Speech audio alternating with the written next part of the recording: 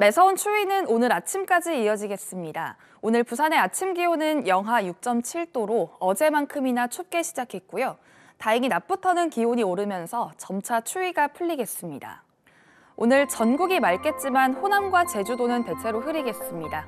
또 동쪽 지역을 중심으로는 대기가 차차 건조해지겠습니다. 오늘 진주의 아침 기온은 영하 10도, 거창은 영하 11도까지 곤두박질했고요. 낮 기온은 진주와 사천이 6도, 거창은 4도가 예상됩니다. 창원의 아침 기온 영하 7도, 함안은 영하 10도에서 시작했습니다. 중부 경남의 낮 기온은 5도에서 6도 선까지 오르겠습니다. 양산의 아침 기온 영하 5도, 김해는 영하 7도에서 시작했고요. 낮 기온은 부산과 양산이 6도로 평년 기온을 밑돌겠습니다. 전 해상에는 풍랑특보가 이어지겠고 특히 동해상을 중심으로 물결이 매우 거세게 일겠습니다. 내일은 기온이 더 오르면서 평년 기온을 회복하겠고요. 당분간 대체로 맑은 날이 계속될 전망입니다. 오늘 아침 항공편 이용에 날씨로 인한 불편은 없겠습니다. 날씨였습니다.